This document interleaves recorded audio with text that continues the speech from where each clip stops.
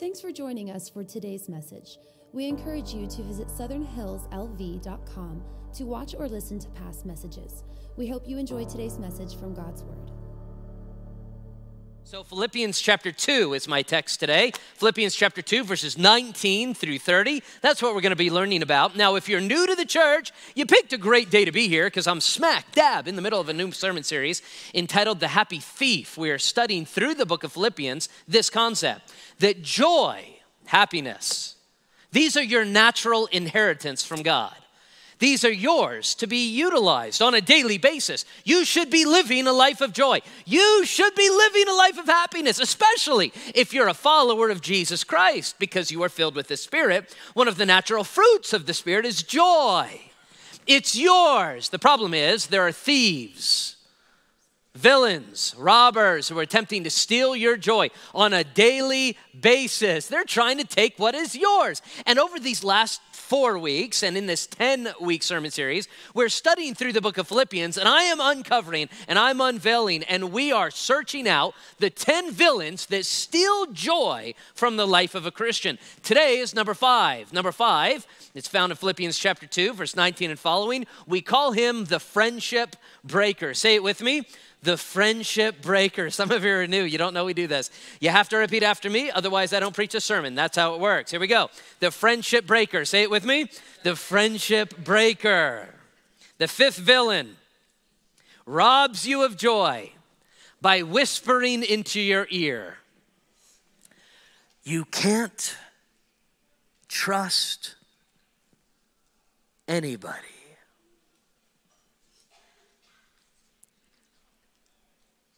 We dropped off my son Jonathan. He 18 years old. 18, we drove all the way to Lynchburg, Virginia, or flew to Lynchburg, Virginia, dropped off my son Jonathan for college. And, and moving into that town, I got to tell you, I mean, he knew absolutely nobody going to that college. This was different for me because when I was 18 and went to college, my brother had already gone, and several of the friends from our church and community and school had already gone away uh, to Florida where I was going to college. And so I knew a lot of the people there, and I already had somewhat of a community.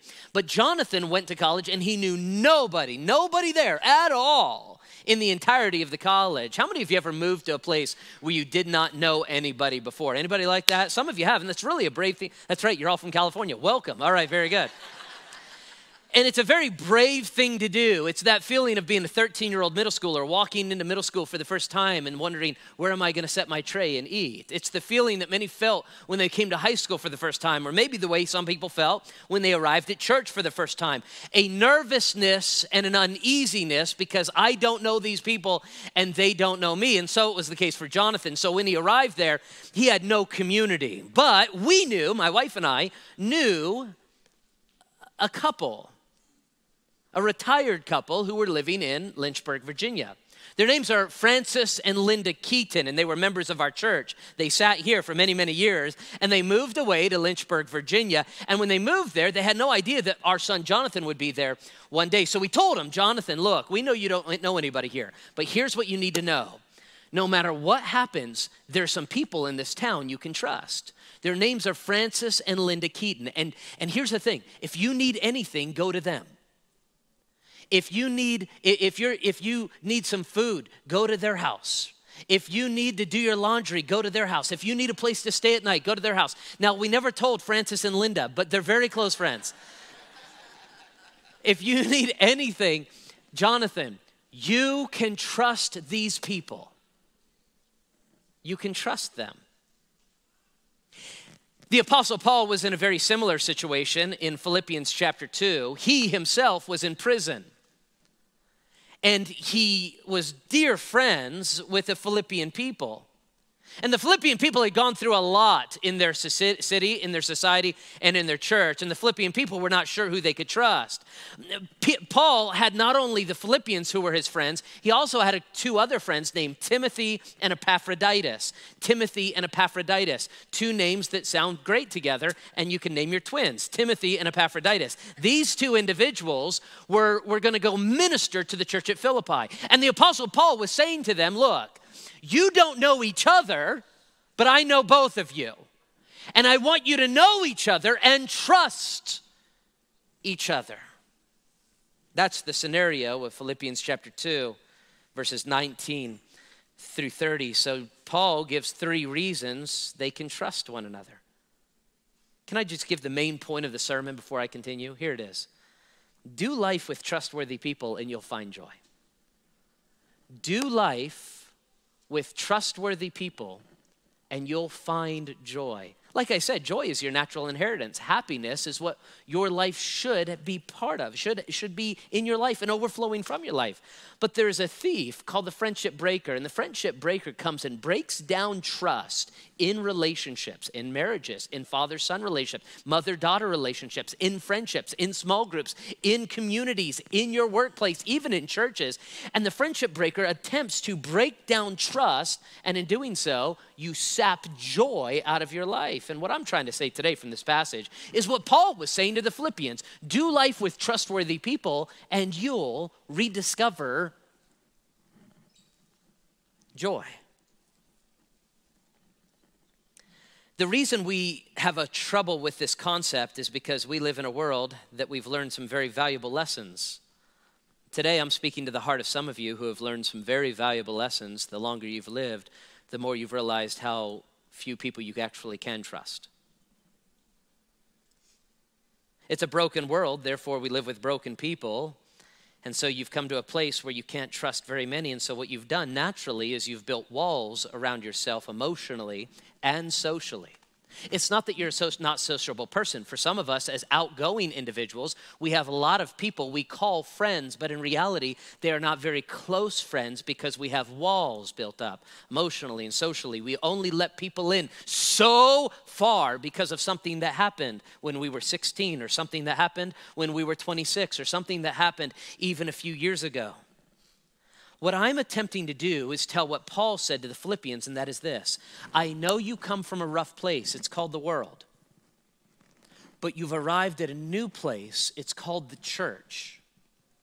And the church is supposed to be a refuge from the world, a bubble, as it were, in a very, very dark culture, a light that shines differently than the way they shine.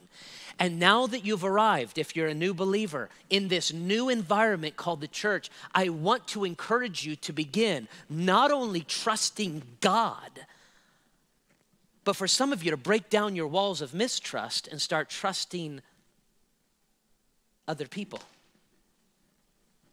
So, Philippians, meet Epaphroditus and Timothy. Timothy, Epaphroditus, meet, meet the Philippians. You can trust each other. Francis, Linda, this is my son Jonathan. Jonathan, this is Francis and Linda. You can you can help each other. What are the qualities of the trustworthy pastor? What are the qualities of a trustworthy individual? Today, in this passage, we see three that I want to discover. The first quality we see is that of genuine care. Say that with me genuine care. Say it again, say it again genuine care. The first quality of someone you can trust is that they are an individual that genuinely cares about other people. Look what it says in verse 19. But I trust the Lord Jesus. Again, this is Paul talking about Timothy to the church at Philippi. He says, I trust the Lord Jesus to send unto you Timothy shortly, that I also may be encouraged when I know of your state. Hey, my, my best friend here, my assistant pastor, Paul was an older pastor, Timothy was like a, his assistant. He said, I'm going to send Timothy to you, and I want you to know you can trust him, and he's going to find out about what's going on in your church, and he's going to come back and tell me. For I have no one like minded who will sincerely, notice this, who will sincerely care for your state. Basically, Paul is saying, Look, I know you don't know Tim, but Tim's the real deal. And when Tim comes down to help the church, you can trust, you can trust Timothy. He's the, he's the real deal. You, you know the difference between somebody who genuinely, authentically cares about you and those who pretend to care? You know the difference? One of the individuals in our church that reminds me of this, I thank God for the men and women who serve in our deacons ministry. For those of you don't know, Pastor Armand, I'm not sure if he comes to this service or which one he comes to. Pastor Armand, oh, people are pointing. Oh, they're in the shadows. Pastor Armand likes to sit in the shadows because men love darkness rather than light because their deeds are evil. Pastor Armand and his wife Tess serve in our deacons ministry. People say, Why do you call him Pastor Armand? Because he really genuinely has been a pastor in the past and shepherds and pastors many people in this congregation.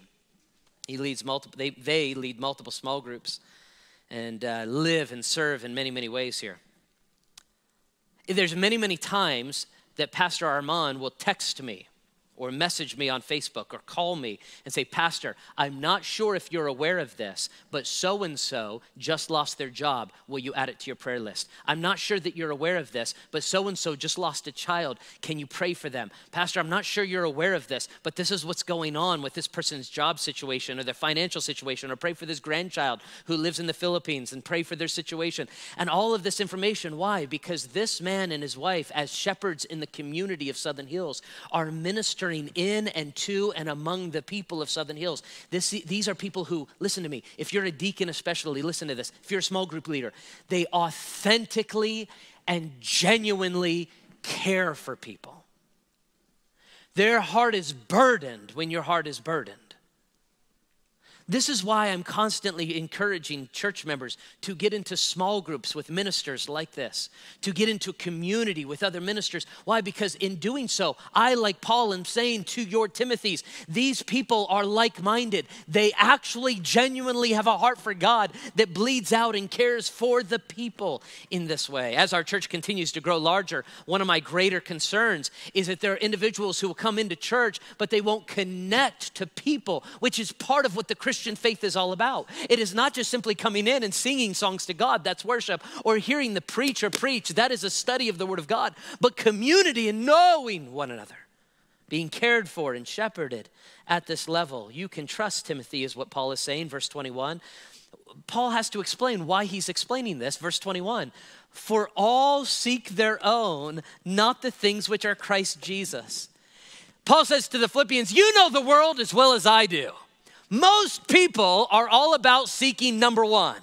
Whatever I can do for me, that's how life is. And by the way, I know Las Vegas. I was born and raised here. And one of the things that is shocking to people who move here is that Las Vegas, outside of the ministry of the church, can be a dog eat dog. I'm here for me. I get what I need. I can't trust people around me type of a town.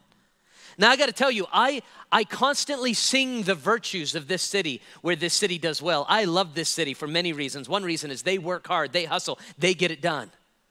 But if you're not careful, because a lot of us are not from here, we don't feel that our roots are here. So we come across people and it's all about using them and abusing them and throwing them away. Be very, very careful to begin to consider this that that's the way the entire city is. That's not. This church is a safe haven from that. I say that because so many of us have lived long enough that we begin to realize or think that everyone is this way. Sometimes we have a difficult time believing people genuinely and authentically care because in the past we began to open up ourselves to individuals we probably shouldn't have. Have you ever been in this situation where you've trusted somebody you probably shouldn't have trusted? How many of you have made that mistake like Josh has? How many of you have done that? Raise your hand. Yeah, you're like, I'm not raising my hand. I know where this is going. All right. Like, I don't trust you, Pastor. Well, here's the mistake that many people make they begin to place trust into people they call friends, but in reality, they're not really that close. Here's one of the reasons why it's because in the English language, we really only use one word to describe almost all of our relationships friend. Right? My friend is the person who sleeps beside me and I live my entire life with but also my friend is that person I don't know on Facebook. We use the same word to describe all of our relationships. That's why it's important to understand the circles of friendship that I wrote about in my, in my recent book. The circles of friendship, when you begin to indulge information and give information to people outside of your closest circles of friendships, people will do some odd things with those, that information. Sometimes we express our emotions to people that are merely our acquaintances, and we wonder why they respond so poorly. We do this on social media. We get on social media and we've got emotions that were very difficult for us to express to our best friend, but instead, let's go to all of our hundreds of acquaintances and express that emotion. And this is why we have a difficult time trusting people because we don't understand with whom we can truly, honestly be vulnerable about our deepest selves. Sometimes what we've done is we've put too much trust in people in the outer circles and not enough trust in the people in our inner circles. Genuine care. Anybody ever make these mistakes like I've made these mistakes? If that's you, say amen. Number one, to find people that you can genuinely understand a true trust with, we need to find the qualities of somebody you can trust. Number one, genuine care. Number two, proven character. Say the second one with me proven character. Come on, come on, say it again. Proven character. You, they not only authentically and genuinely care, they have a proven character in their life. Look at what it says in verse 22. But you know his proven character. Paul is still talking about Timothy to the Philippians. He said, Guys, you know about Timothy's reputation, character, proven character, his reputation. That he is a son, as a son is with a father, he served with me in the gospel. See, Paul went around all around the known world preaching the gospel of Jesus, and his little pal Timothy, who was his assistant, went with him everywhere. They said, You don't know him personally, but you do know of his reputation, and he has a proven he has a proven character. Why do the Philippians need to know this? Here's why because the Philippians had been hurt over and over by individuals, so they lacked trust. They were experiencing post traumatic issues. And what Paul was saying is hey, you can trust this guy. Listen to me. In the same way, I, as your pastor, am coming to you saying, I know you can't trust everybody in the world, but there are people you can trust. Look for people of proven character. Verse 23. Therefore, I hope to send unto him unto you at once, as soon as I see how it goes with me. Remember, Paul is in prison, and he says, I'm planning on sending Timothy, who's helping me, to come see the church. And when he comes, trust him and take care of him. I've got to see how this prison situation is going to work out for me. Verse 24. But I trust in the Lord that I myself shall also come shortly. In the meantime, trust Timothy Here's what I would say practical application for you trust the people of your church, trust the deacons in this church, trust the shepherds, the pastors, the men and women who lead in this church. Trust them. I'm putting my reputation on the line. I'm putting the very name of Jesus Christ, as I'm supposed to, on the line to say that there are leaders and community leaders within this congregation to whom you can trust, just in the same way Paul told Timothy, you can, uh, Paul told the Philippians, you can trust, you can trust Timothy. Look at what it says in verse 25. Yet I considered it necessary to send unto you Epaphroditus. Here's where the second person comes in. Paul is with Timothy and he's about to send Timothy. But now Paul has already sent Epaphroditus. Epaphroditus is taking the letter of the Philippians to the Philippians and he had already come from the Philippians. Here's this guy, Epaphroditus. Say Epaphroditus, I know you want to. Close. Say it one more time. Epaphroditus. Okay, you speak Greek now. Very good. This is good. I'm sending unto you, uh, I, yet I considered it necessary to send unto you Epaphroditus. Now, notice how he qualifies him. Notice the proving character. Notice how he references him. He calls him my brother, my fellow worker, my fellow soldier, but your messenger and the one who ministered to my need. It, it reads like a Yelp review, doesn't it? Paul is like, you can trust this guy. He's my brother, and he's my fellow surgeon, and he's my minister, and he loves Jesus. He's fantastic. Five stars. How many of you, by the way, are like me? You Yelp everything. How many of you Yelp? Some of you Yelp church before you came here. You know what I mean? I, my wife and I, we Yelp every time we go to a restaurant. We will not go to a restaurant unless we've Yelped it. We like it. You say, well, didn't somebody tell you that was a good restaurant? Yes, Yelp did. I like to go to Yelp and I like to check. And if it has under three stars, I am I'm not going. I don't care. What I want, by the way, if you go to a Yelp, you ever go to, how many of you Yelp like I do? Okay, you, you Yelp, right? And when you go to Yelp, and if it's got four or five stars, fantastic, great, go there. Other than that, it's not worth it. And here's the thing here's the thing. Now, if it's got five stars, but it's only with five reviews, don't trust it. That's that dude's five best friends. That's it. It doesn't work. It has to have like a hundred reviews, and then then it's all four and a half, five stars. Maybe you know there's one bad review, one star and it's like the waitress was angry, and you're like, yeah, whatever. You're just an angry person, and and you're like, it's still a good restaurant, right? Here, here's what you need to understand. who you can trust works very similarly. Proven character. Who is it in their life that shows a lifestyle of being around people who trust them? Or who is it in life that has left a wake of individuals behind them that are just dying and falling apart? A proving character is what Paul is addressing here, and we ourselves need to have the same mindset. Look at what goes on in verse 26. Since he was longing for you all, he's saying, Look, Epaphroditus is such a good dude. He was longing to see you all, he was caring for you all, and was distressed because he had heard, he, because you had heard that he was sick say, wait a second, what? Epaphroditus was sick? Oh, yes, he was, which leads to the third quality of somebody you can trust. Number one, genuine care. Number two, proven character. Number three, selfless love. Say selfless love. Come on, folks, let's say it together selfless love. The third quality of someone you can trust is somebody who cares more about you than they care about themselves.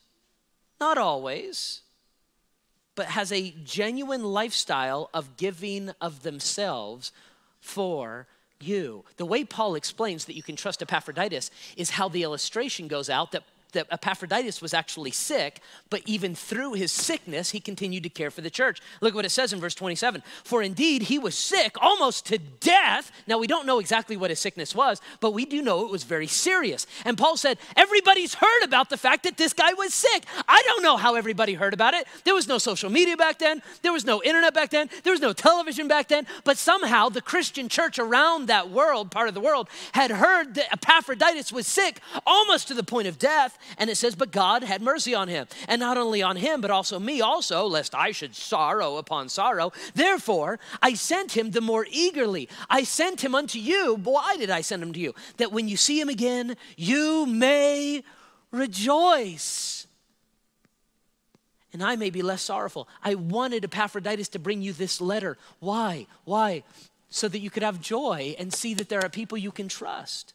Receive him, therefore, in the Lord with all gladness and hold such men in high esteem. Hey, take care of these kind of men and women who are genuinely there, selflessly loving others. Look at verse 30, it blows me away. Because for the work of Christ, Epaphroditus came close to death, not regarding his own life.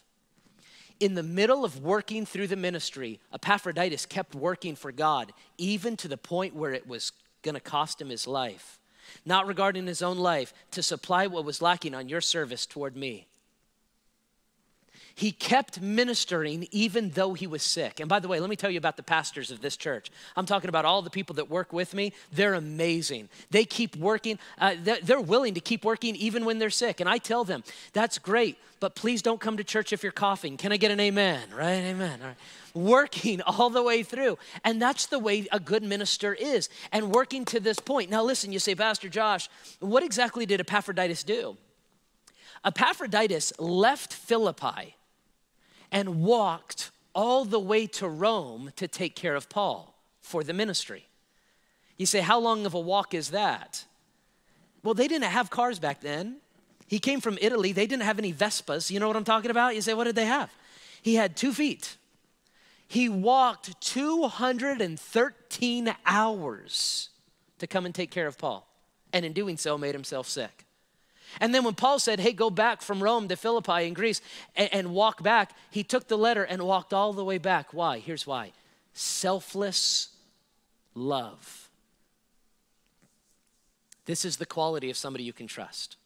Now, as we close out the service, I've got three questions and one story. Say three questions and one story. Three questions and one story. Here are the three questions I want you to ask, and we're going to get out of here, okay? Here it is. Question number one. Question number one Do the people around you have these qualities? Listen, listen. Do the people around you have these qualities? Genuine care, proven character, and selfless love. You say, Pastor, I don't, I'm not sure that they do. For some of you, for some of you, you may need to start cutting some people out of your life that don't need to be there. They're toxic. Now, I'm not saying they're toxic to God because God deals with all people and loves all people. I'm saying they're toxic to you. I'm not saying they're toxic to everybody. There's some people who are, who are built differently, who might be able to minister to them and care for them. But in your life, you need people around you you can trust. And I'm concerned for some of you, as a shepherd is concerned for his flock, as a pastor is concerned for his sheep. I'm concerned for you. And I express this concern from the Lord. Do the people around you have these qualities? Some of us have had not a problem cutting those people out of your life, and that's been that's been difficult, but it's done. Now the problem is you've cut people out, but now you've built walls and you can't let people in. See, that's the conundrum. You you have to trust people, but you can't trust people until you get to know people. And you can't get to know people until you can trust people.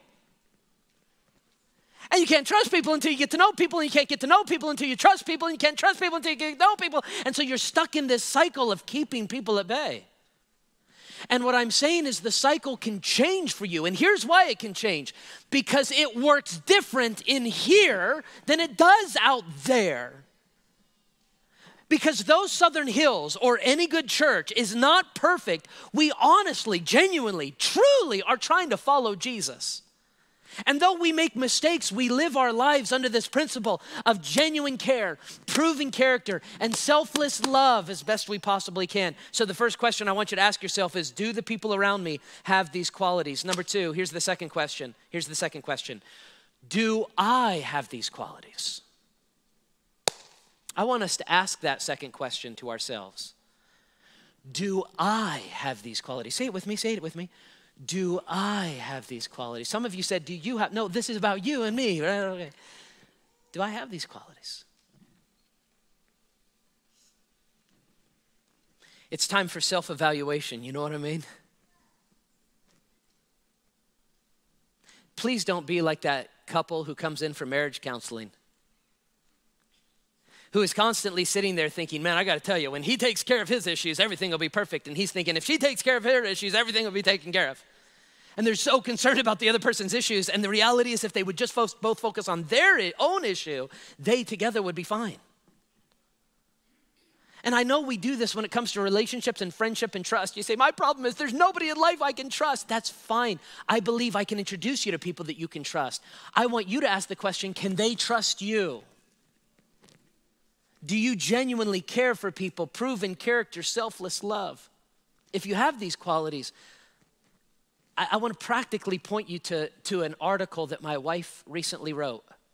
It's actually on Facebook. It's under my, you can go to my account and see it. I put it out there today for reference.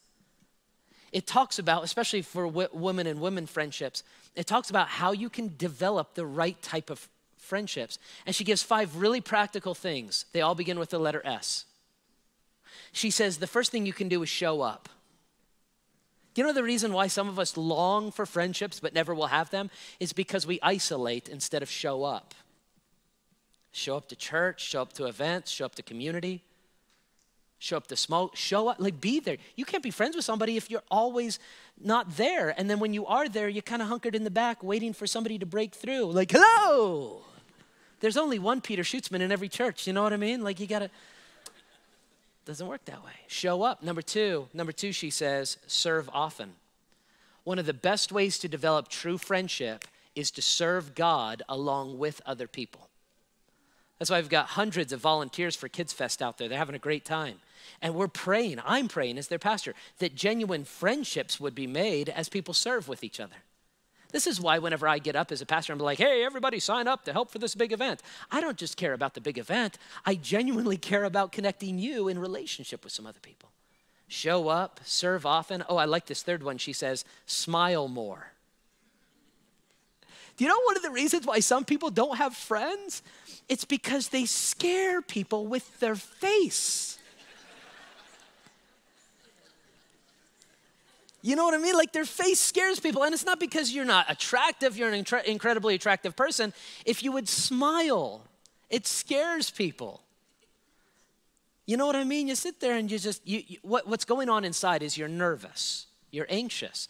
And your nervousness and anxiousness is not showing as nervousness and anxiousness, anxiousness, it's showing as anger and being put off by people.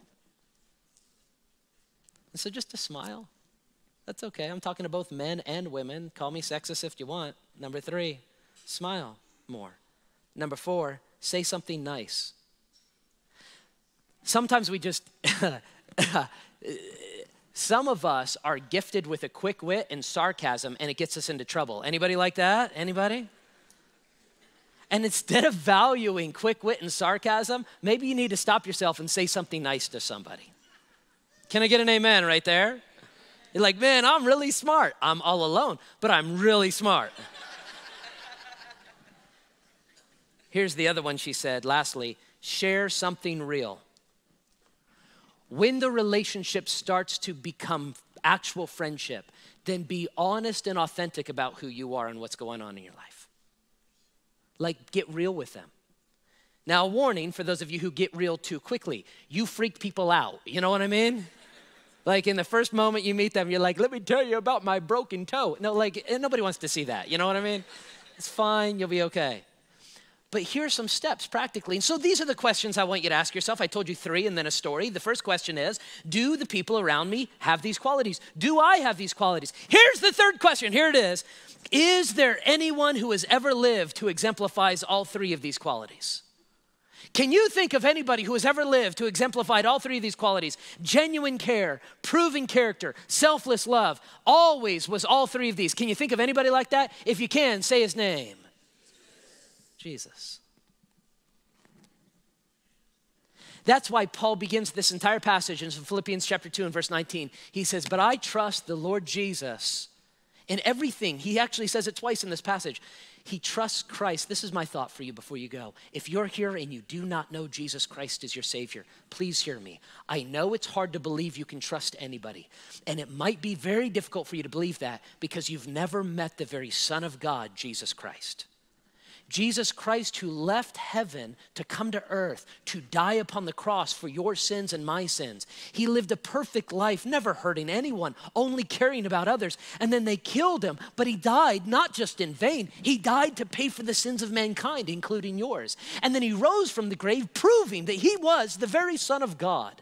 And now he offers salvation to every single person. Here's all you have to do all you have to do is put down your defenses and trust Him for salvation. Believe on the Lord Jesus Christ and you'll be saved. And this is how Christianity works. Once you learn to trust Him, you're invited into this bubble of people you're supposed to be able to trust, His family. And it's a, listen, it's a really great way to live. It really is. I told you I'd end with a story.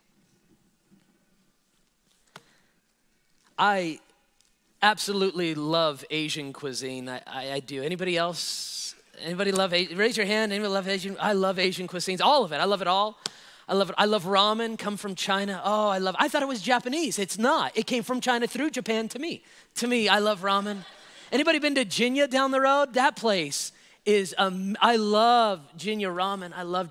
I love Chinese. I love. I love Japanese sushi. Any sushi fans? You know, first told about sushi, I'm like, it's raw? No, there's no way. And then you eat it and you're like, oh, this is good.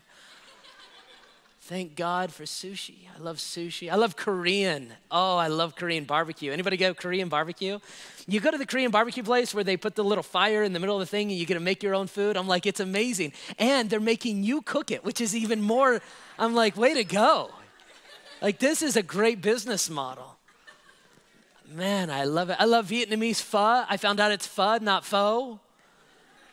I love, have you been to Annie Pho over here on Rainbow? So good. I was just thinking about it. It's really good. it's really good.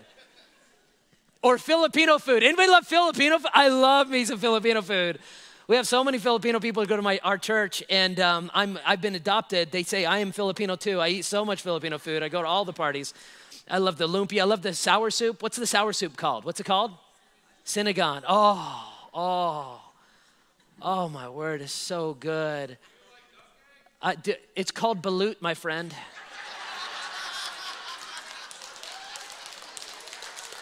Are you referring to balut? I've had balut, yes. Do I like it? Of course I don't. Most Filipinos don't. I think you have to be of a certain age to like it. I think that's how it works. You turn 55 and you're like, it's not that bad. And then you're like, because your taste buds are done, you know? It's, I love all Asian cuisine. I do. I really love it. I, I wasn't always the case. There was about a decade of my life, like 10 years, I could not eat Asian food, like at all. Was because of a traumatic experience. I was 12 years old. I was with my family, and we had stopped by for the um, not very occasional uh, takeout for us. This was a special occasion. We got a bunch of Chinese food, took it home, and uh, we opened up the little, you know, the little, the little boxes, and, and everybody's sitting there ready to eat, and everybody's eating. And all of a sudden, in the middle of the meal, having a good time eating, having a celebration, and all of a sudden, my mother screams, steads up, and takes a napkin and puts it down like this. And we're all sitting there like, what is happening? And we looked down in her plate, and there, wriggling, was a half eaten cockroach.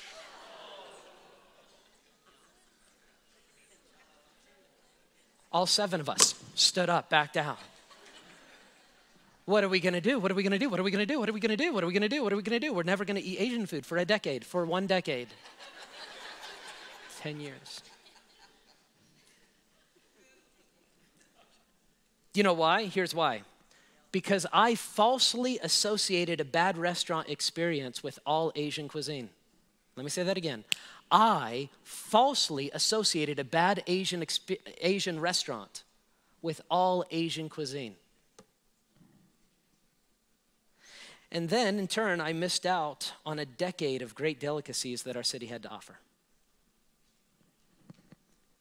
This is what we do to ourselves. You had a bad friendship experience, and so that bad friendship experience has affected all of the friendships you've had for a decade. It's not friendship that's bad, friend. We do this with marriage. We have a bad marriage experience, and now we assume all marriage is bad and terrible and villainous. It wasn't, it wasn't marriage, friend, it was that relationship. We have a bad small group experience. We have a bad church experience, and we associate a bad church experience with all churches. We uh, uh, associate a bad religious experience with all religions, and we deprive ourselves of the great joys that our city and our world have to offer. Friendship. Here's what I'm saying. Here's what I'm saying. I know to some degree or another you have been hurt. And I'm over here like Paul saying, I, I get it. I'm tell- but I think you can trust Timothy and Epaphroditus as you trust the Lord. Don't let this villain break your friendships and steal your joy. Let's pray. Father, I thank you for your word. I thank you for the passage and how much it teaches us, even about life today. And I do pray that you would help my brothers and sisters in this room, those Christians who have believed and follow you. I pray that we would genuinely build the strongest relationships among ourselves. I, I, do pray that you would help us to surround ourselves with people with these qualities. I pray that we would be these qualities. And then I also pray specifically for my friends in this room who don't know you as a Christian yet. They've never been born again. I pray that today they would trust you for their salvation. They today would repent and receive you, even today, and see that you're the great friend. In Jesus' name we pray. If God has used this message to impact your life, we would love to hear from you. Please send an email to connectdesk at southernhillslv.com. If you would like to support this ministry financially, you can do so at southernhillslv.com slash give. We are always encouraged to hear how God is using this church in Las Vegas to reach God's people around the world.